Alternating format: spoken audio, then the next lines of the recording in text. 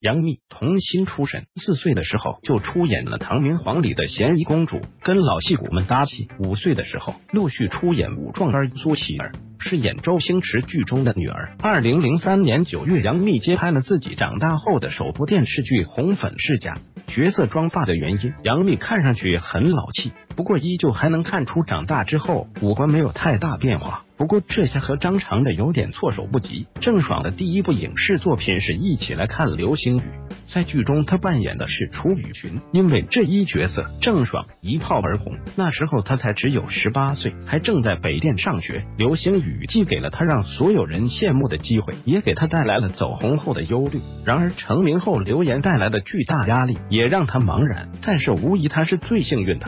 赵丽颖，二零零六年出道的她，在古装历史剧《南越王》中饰演清新可人的小皇后一角。可以看出，那时候的她看起来和此刻的她没有多大的变化，只是略微的瘦了一些。很心爱整小的，我觉得还是很地道。那时候赵丽颖就是这么美。